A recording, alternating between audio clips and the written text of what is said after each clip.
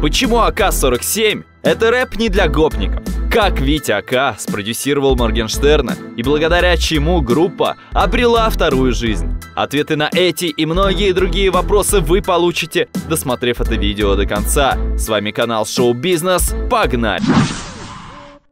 Если вы считаете, что АК-47 это рэп для гопников, то вы глубоко ошибаетесь. В течение этого видео мы поближе познакомим вас с этой группой и докажем, что их творчество — это добротный рэп, который не стыдно слушать.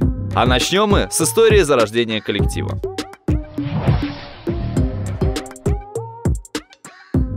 АК-47 – группа из Екатеринбурга, в состав которой входят два обычных пацана – Витя и Максим. И так как именно Вити является главной движущей силой коллектива, то в основном речь будет идти именно о нем.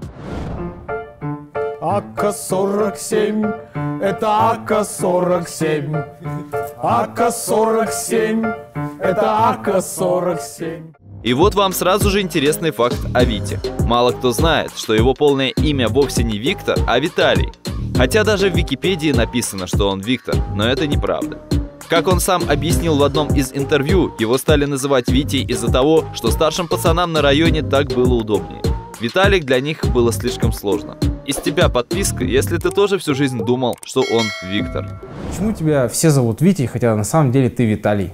Витя, меня звали мои кенты с района, потому что им было трудно запомнить э, мое имя. Что же касается его любви к хип-хопу, то Витя увлекся им еще в школьные годы. Он начал сочинять простенькие стихи и даже записался на занятия по брейкдансу.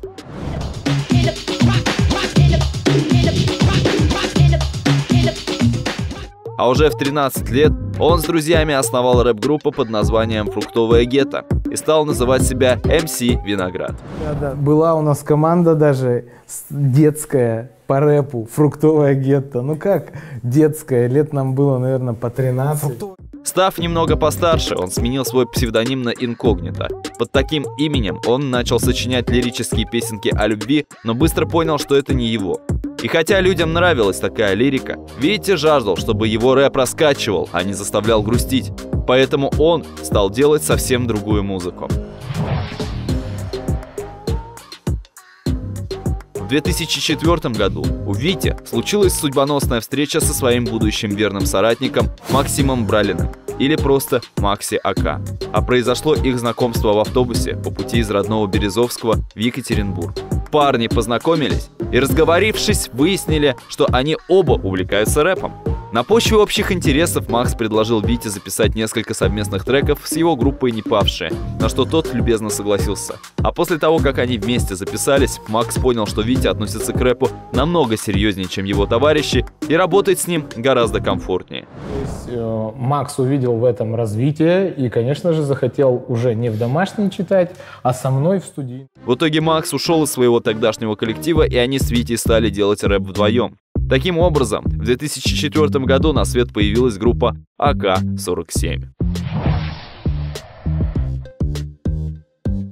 С 2004 года Витя и Максим записывают свои первые треки под брендом АК-47. Веселый и медийный Витя и абсолютно закрытый Максим органично дополняли друг друга.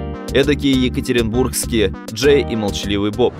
Шмалим дурь, курим шмаль, дуем коку, пиво пьем, пиво пьем, пьем, пьем, косяки. Помимо музыки, с помощью подручных средств и дешевой камеры, парни снимали и свои первые клипы. Сегодня эти видео кажутся смешными, но тогда они вызывали бурный ажиотаж вокруг себя. АК в полном составе атакует ЕКБ, зовут меня В, я из Г на букву Б. И если пацаны верили в себя и свой успех, то их родители не очень. Они были против того, чтобы дети увлекались рэпом и считали, что люди в столь юном возрасте, а парням на тот момент не было и 20, должны получить хорошее образование, а не заниматься не пойми чем. Но пацаны четко для себя определили, что они не хотят работать на дядю, а желают зарабатывать своим любимым делом. И чтобы доказать серьезность своих намерений, парни переехали от родителей в Екатеринбург навстречу своей мечте. Все, все вещи собраны. Можно уходить. И уже в 2006 году их музыку слушал весь Урал. Такому быстрому развитию группы поспособствовала появившаяся в те годы социальная сеть ВКонтакте. Парни начали выкладывать туда свои треки и клипы, которые разлетались по Уралу как горячие пирожки. Благодаря этому их музыка вышла за пределы Екатеринбурга и расползлась по всей России. Быстро растущая популярность привела к тому, что их заметил Баста. Он пригласил АК-47 в Москву. В столице Баста и АК при участии Гуфа и 5 Плюх записали совместный трек под названием «Шире круг». Ганна, Вити из Яката, Гуф и пять плюх, Москва, так надо. Паровозы длиной. Песня стала настоящим хитом и возвела АК-47 в статус звезд рэп-индустрии. Кстати, именно с этой песни я и начал свое знакомство с этим дуэтом. Во-первых, меня впечатлил состав рэперов на этом треке. А во-вторых, как они все круто звучали. Кстати, расскажите в комментариях свою историю знакомства с АК. После успеха песни «Шире круг» Баста понял, что нельзя отпускать из своих рук таких самородков и предложил парням стать резидентами лейбла «Газгольдер», на что Витя и Максим с удовольствием согласились. После подписания контракта с Газгольдером в 2009 году АК-47 выпустили дебютный альбом под названием «Березовский». И я думаю, что вы соврете, если скажете, что его не слушали. Ведь он получился по-настоящему хитовым. Во-первых, надо отметить трек «Кругом тонирован», который звучал из каждого заниженного таза. Хули, едем так, как ехали, даже в хуй не дули. Хули, ну допустим, ремень не пристегнули. ставший локальным хитом еще до выхода альбома. Пакистан, да? Нам нужен один килограмм. Алло, это Пакистан? Вообще, АК-47 мастера такого стебного и юмористического рэпа. И так как такой юмор был близок и понятен простым людям, их треки становились народными хитами. Как, например, песня «Братц». Мне кажется, подавляющее большинство слушателей узнали в этой песне свою родню. Дядька в Белоруссии не очень умен, далек от молодежи, чувство юмора лишен. У папы брат ведет Лично я всегда включал этот альбом, когда мне хотелось поднять себе настроение и покачать головой под крутой хип-хоп. Я думаю, так делали многие. Но помимо юмористических зарисовок, были на этом альбоме и серьезные песни. Например, пол второго, записанный с Мэтт Бастас. Это настоящий мрачный андеграунд с Урала. Бастас, так-то аккуратность, наглость, хам, ака вот так-то раз, 9 грамм бам. Сольный трек Макса «Максим на связи» тоже нельзя назвать веселым и раздолбайским. В нем Макс развеял все слухи о себе и показал, что он никуда не уходил и находится в хорошей форме. Гламурные кретинки, я вырос на журнале, веселые картинки. Подымить цветочки хочешь, набирай на сим. Что касается тематики альбома, то это классический кочевый хип-хоп о жизни обычных пацанов из пригорода Екатеринбурга. А так как в то время они вели достаточно развязный образ жизни, то в их треках очень часто упоминались легкие наркотики. Затонирован в хламину и еще в очках чернющ. А те, кто что-то хочет, ждет суровая расправа. Это Макси Ака. Слышь, малыш, в меру потребляй гашиш. Мама говорит, это все план И это сыграло злую шутку с коллективом. Да, этот рэп принес им огромную популярность, но у этой популярности была и обратная сторона медали. Большую часть их фан-базы составляли как раз люди, которые любили дунуть. А у большинства людей, незнакомых с хип-хоп культурой, этот факт вызывал сильное отторжение. К сожалению, ведь группа была достойного большего. Но несмотря на это, альбом стал настоящим открытием именно рэп-индустрии. Парни создали на этой пластинке свой собственный мир с уникальным языком повествования и сленгом, который сначала понимали только жители Березовского, а затем выучила и вся страна. Их успех не остался незамеченным, и группа стала обладателем премии «Открытие года» от Russian Street Awards. Лучшим открытием 2009 года вы назвали кого? И будем томить вас. Это две буквы и две цифры. Повернись. После выхода дебютного альбома в сети появилось несколько синглов, закрепивших огромную популярность коллектива. Одним из них стал стебный трек «Размер не важен», записанный при участии Вадика Купе. Давай замажем, что размер не важен. Давай докажем, Вадик. Витя, давай докажем. Пусть знает каждый. В следующем 2010-м парни продолжили свое победоносное шествие по рэп-индустрии и выпустили свой второй релиз, получивший название «Мегаполис». Мегаполис, Мегаполис, много медик, многополис, много диджей. много. И название альбома достаточно символичное. Если первую пластинку «Березовский» записывали простые парни из одноименного населенного пункта, то над мегаполисом работали уже суперзвезды, покорившие Москву. Глухо, тихо, черная полоса Стал расчет левей из-за кризиса Не ебу дочку богатого Второй релиз получился намного более качественным с точки зрения продакшена. Видно, что над пластинкой работали настоящие профессионалы. Фантастика, как я поджег запал Когда говорил в микрофон, города взорвал А сейчас уж... В текстах же были все те же приколы, сленг и житейские премудрости, подкупавшие слушателя своей простотой и бесшабашностью. Именно своей легкостью и непосредственностью меня подкупали эти парни. Я думаю, в этих компонентах они были лучшим среди русских рэперов. Этакий русский народный рэп. Макси Акайо Мне 20 тоже, дамы схожи Ходим в найковских калошах Также после клуба Порадовал и список гостей на альбоме. Своими куплетами отметились Гуф, Нагана, Восточный округ и многие другие. А главным же хитом пластинки можно назвать девятиминутный сайфер «Тем, кто с нами». Ага, нога на гуф Города поют, братан, когда слышат этот звук Для парней и их подруг 2010 год — это время, когда АК-47 были на пике своей узнаваемости. Помимо уже перечисленных треков, также было очень много других популярных песен. Так давно не виделись Как дела? На что же ты обиделась? Как дела? Оля Лукина Предприниматель Люба любит грубо Давно не ела круглые и не ходила в клубы Кожица в солярии Никогда вообще ни в чем не сомневался Я ровный пацик, и это классно Я точно знаю В целом их второй альбом получился очень крутым и по-настоящему кочевым. И на мой скромный взгляд, это лучший релиз группы в их дискографии. А как вы считаете, какая их работа достойна называться лучшей? Пишите в комментариях. Мегаполис принес коллективу еще большую славу, но вместе с тем еще сильнее закрепил за ними статус подъездных рэперов. И хотя они уже давно не были таковыми, это клеймо сильно мешало им развиваться. Хотя если абстрагироваться от их образа и того, кто их слушал, можно было понять, что они делали по-настоящему крутой рэп. Не стесняйся, самовыражайся Только не скуривайся и не спивайся И не обламывайся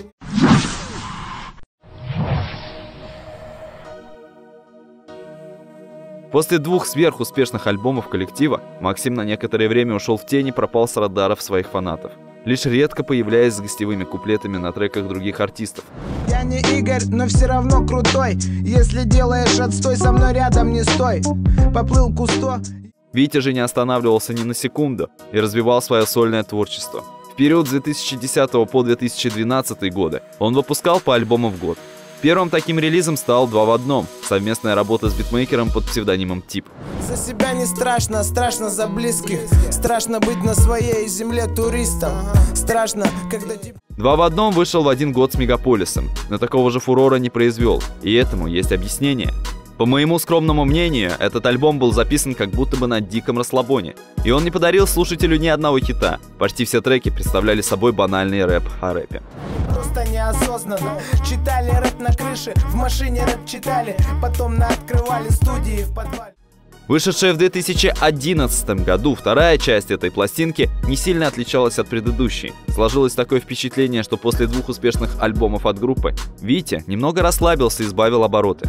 На этом релизе слушатель не узнал ничего нового о Вите, но и Витя, в свою очередь, не старался чем-то удивить. Поэтому логично, что два этих альбома не удостоились особого внимания и довольно быстро забылись. Как наша глава говорит Такую хуйню, аж сильно голова болит Мы чё, хуже их? В 2012 году вышел уже сольный релиз Вити под названием «Жирный». И эта работа отличалась от предыдущих. На ней Витя постарался не повторяться и в каждой песне примерял на себя новые образы. Да, я теперь один, ты теперь одна Как будто не было тебя, не было меня Мы разошлись, как в море корабли На 17 треках пластинки он успел зачитать об очень многом. Например, в композиции читали, нажимав на запись. Он решил объяснить государству, что его творчество это просто рэп, и он ничего не пропагандирует. Убивали, мы ведь, блядь, реально ничего не нарушали Не говорили детям, идите купите шмали Никак- Кстати, именно в то время у коллектива были проблемы с госорганами. Их концерты отменяли, а на них самих объявляли настоящие облавы. Но об этом чуть подробнее мы поговорим далее. Нахуя приперлись к моей маме? Ну кем надо быть, чтобы так ебланить? Лови барыг, кто вам... Помимо этого, на альбоме было еще много чего интересного. Если вы помните, в 2012 нам обещали конец света, и Витя немного поразмышлял на эту тему. В 12 году, в 12 году Те, кто не надо, уйдут, все города пойдут ко дну, но не Екатеринбург Также стоит отметить, что активное участие в записи этого альбома принял Баста. Он отметился своими куплетами сразу на трех треках. В перспективе каждый хочет жить красиво Чтобы было выпить чё, закусить бак бензина Чтобы хватило добра. Не все попадут в райский сад. Молю небеса, чтобы жизнь не была как медленный суисайд У Нагана есть план, он круче, чем крэк Надо просто делать, братва. Охуенный рэп Помимо Баста были другие крутые гости, такие как Гуф, рыночные отношения и Триагрутрика. Нет, нагоняй, что терял Подготовил материал. Дочерям и матерям Все МС, встаньте в ряд Ща начало По классике фитка мутим с Витькой Ака. И кто бы в интернете что там не балякал Автомат будет продолжать шмалять. Я рычать. сейчас вас кое о чем попрошу? Не переношу минжу, дайте шум. Хапну рапа на природе хап- Что же касается звучания альбома, то оно полностью отражается в его названии. Звук действительно жирный и точно заставит вас покачать головой в такт бита. Многих выше сейчас этажом Но есть куда еще стремиться Чтоб не пожалеть потом В целом альбом получился ровным, без громких хитов, но и без провальных треков. Главным минусом пластинки, на который я бы хотел обратить внимание, это та расслабленность Вити, о которой я говорил ранее. Из-за нее он немного терялся на фоне всех своих товарищей, с которыми фитанул на альбоме. Баста просто выглядит на этих треках более весомым, а Гуф вообще в 2012 был на пике своей формы, и любой рэпер, фитовавший с ним, оказывался в его тени. Рыночные отношения и Триагрутрика показались более голодными до рэпа. Из-за этого складывается ощущение, что гостем на этой пластинке был именно Витя.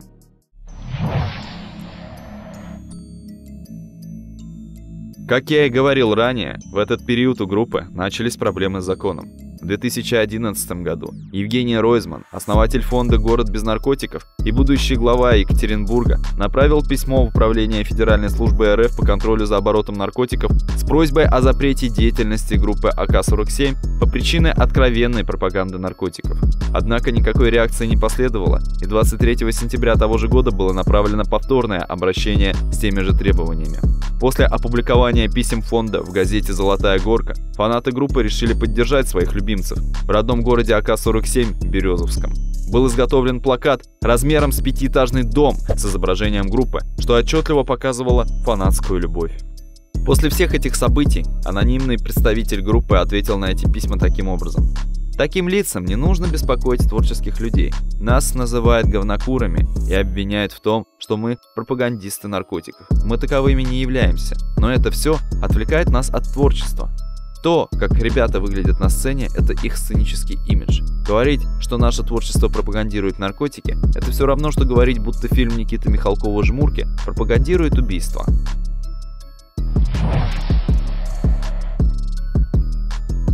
Период с 2013 по 2015 год Витя, последовав примеру Макса, тоже решил взять творческий перерыв. Новой музыки было мало, лишь немногочисленные гостевые куплеты.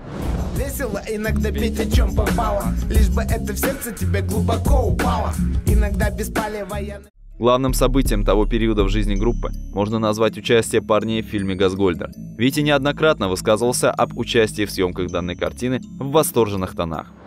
Скрытые от глаз посторонних, обитатели Газгольдера занимались своими обычными делами. Записывали А вот в 2015 году, наконец, вышел третий студийный альбом группы с логичным названием «Третий». Мне говорили, парни, лучше вам сюда не лезьте Мы говорили, дяденька, давай решим на месте Послушав его, стало понятно, что парни пытаются избавиться от ярлыка подъездных рэперов, которые на них повесили. Пацаны практически полностью отказались от упоминания запрещенных веществ, а их общий посыл стал заметно добрее. Добро, бро, делай добро, бро Делай добро. Как бы ни было, бро, все равно делай добро Даже если целом альбом пропитан позитивной энергией, плюс к этому он не напрягает, а наоборот заставляет расслабиться. Газа не бандос, обежал остановить аж через пять полос. Пацаны пацанские, ведите себя смело Но, к сожалению, к 2015-му популярность дуэта уже шла на убыль. Из-за образа, который повесили на себя АК, очень неплохой альбом остался без должного внимания. Да и вдобавок к этому, 2015 год – это год, когда русский рэп стал быстро меняться, и простой пацанский хип-хоп начал уходить на второй план, уступив дорогу модному звучанию.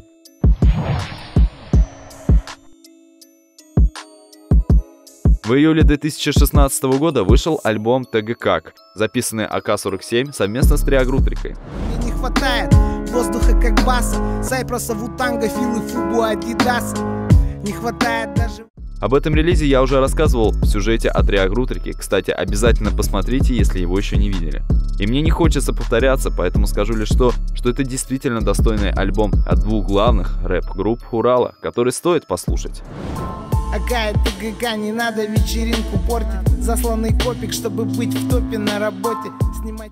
Но все же, по многим объективным и субъективным причинам, этот релиз остался без должного внимания. Старый стайл, как охуенный ставчик. Тебя пробило на рэп, как пробивает на хавчик. Я делаю... После выхода ТГК в том же году у АК-47 закончился срок действия контракта с Газгольдером, и парни отправились в свободное плавание. Кстати, как и их товарищи из Триагрутрики. Но хоть Витя и Максим до сих пор говорят, что работа на газе под руководством Басты положительно повлияла на их карьеру и творчество, тем не менее некая обида чувствуется в их высказываниях. Это разрыв, да? Ну, если честно, я чуть не блеванул. Было ощущение, что он нас не отстаивал. Я не скажу, что там пиздец на нас там одели оковы и говорили не это, но и не скрою, что корректировка материала была. Ну, ты эту несвободу чувствовал? Чувствовал. Может быть из-за того, что в последние годы пребывания парней на газе АК подвергались хейту, а Баста их никак не отстаивал в публичном пространстве. Особенно это заметно в интервью Василия, которое он дал Дудю. Делают ли меня они слабее? Мы не играем в команде. Э, делают ли они себя сильнее? Возможно. Как вы считаете, правильно ли Баста поступил, отпустив их, или надо было все-таки продлить контракты? Жду ваших мнений в комментариях, а пока идем дальше.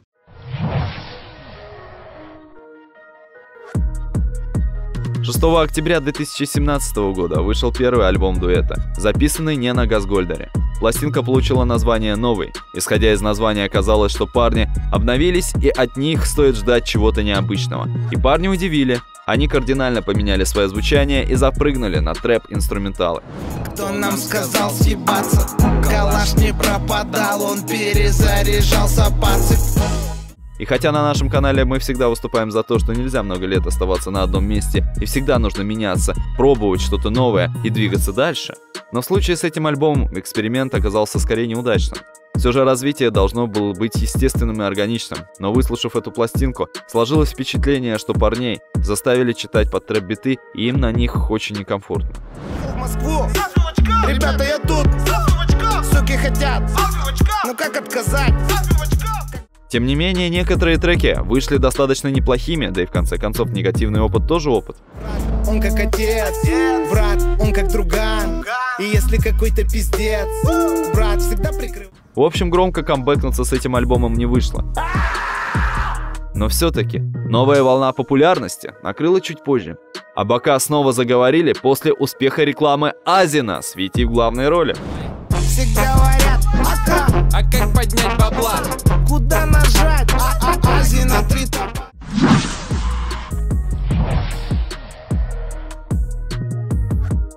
После этой рекламы, когда каждый второй россиянин видел Витю перед тем, как посмотреть фильм, его медийная жизнь обрела второе дыхание. Он стал желанным гостем всевозможных YouTube-шоу и телепередач. тебе честно, в нашей программе еще ни разу не было классного рэпера, и поэтому мы решили позвать тебя, чтобы ну, не изменять традициям. Витя, по сути, стал живым мемом. И знаете, это неплохо, ведь он всегда был таким. И в этой роли он выглядит органично. С самого начала карьеры Витя создал свой образ и благодаря нему смог привлечь огромное количество фанатов. Вспомните, например, сколько раз вы видели его без черных очков. Думаю, от силы пару раз. И ведь он сделал это своей фишкой еще в начале своего пути. Или вспомните тату автомата Калашникова на его спине. Моя столица не Амстердам, не Люксембург Район Березовский, город Екатеринбург Это ведь тоже крутой маркетинговый ход. Когда он впервые показал татуировку в клипе, этот автомат сразу же перекочевал на задние стекла автомобилей в виде наклеек. И когда кто-то видел такую наклейку, первым, что у него всплывало в голове, была группа АК-47. Поэтому с уверенностью можно сказать, что Витя гений маркетинга, который изначально тщательно проработал свой образ, да еще и подкрепил его качественным музлом. И я нисколько не удивился, когда Витя записал фит с Моргенштерном. Ведь по сути Алишер это последователь Вити. Вы можете сколько угодно плеваться на его музыку, но то, что он гений маркетинга, гений шоу, шоумен, и благодаря этому зарабатывает на своем образе огромные деньги, отрицать невозможно. Моргенштерн сам же признался, что в детстве фанател от АК-47, и вот в 2020-м учитель и ученик встретились на одном треке. Моя банда старше баба, твоя банда одни обаблы Моя лапа будто лампа, твоя баба А оказавшись на пике своей второй молодости, в сентябре 20-го Витя выпустил свой очередной сольный альбом с символическим названием «Старая школа». Кто не знает, куда приведет игра Однажды утром я проснулся мемом Ази на три топора На мой скромный взгляд, релиз вышел более чем удачным. Витя показал, что он до сих пор находится в хорошей форме и может раздать рэпа не хуже молодежи. Как ребят с новой школы Нам не куча, да, цепы за 3 миллиона Как взлетать и падать, да Позитивно этот альбом встретила и публика. Просто посмотрите на комментарии под новостью о выходе пластинки. На этой пластинке достаточно крутых треков. Но мне же больше всего понравилась песня Air Max, записанная при участии неожиданного гостя, поэтессы Соломоновой. Напишите в комментариях, какой трек с этого релиза больше всего понравился вам. Чищу Air Max,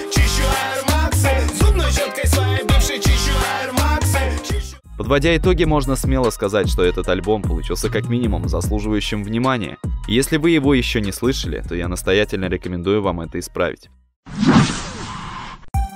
40 китайских наушников с AliExpress и одни настоящие AirPods. Смогут ли профессиональные музыканты отличить оригинал от 40 подделок? Узнать, сколько на Алике брака, можно только в эксклюзивном проекте канала Шоу Бизнес. Вилсаком курит по ссылке в описании.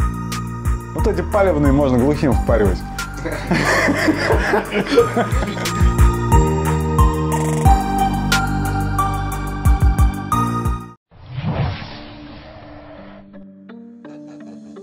Оглядываясь на карьеру Вити и группы АК-47 с высоты пройденных лет, можно с уверенностью сказать, что он еще не до конца реализовал весь свой творческий потенциал. В каких-то моментах они сами виноваты, позволили себе расслабиться. Но мне все же кажется, что на них очень сильно повлияло общественное мнение и огромное количество ярлыков, навешанных на группу. Во-первых, рэперы читали о наркотиках еще задолго до Вити и Максима. Мальчишник же не запретили. А во-вторых, это не их вина, что их окружали травкой подъезды, а не спортивные площадки. АК-47 в первую очередь рэп-группа, поэтому они просто читали о своей жизни, о жизни обычных русских пацанов. К сожалению, это так.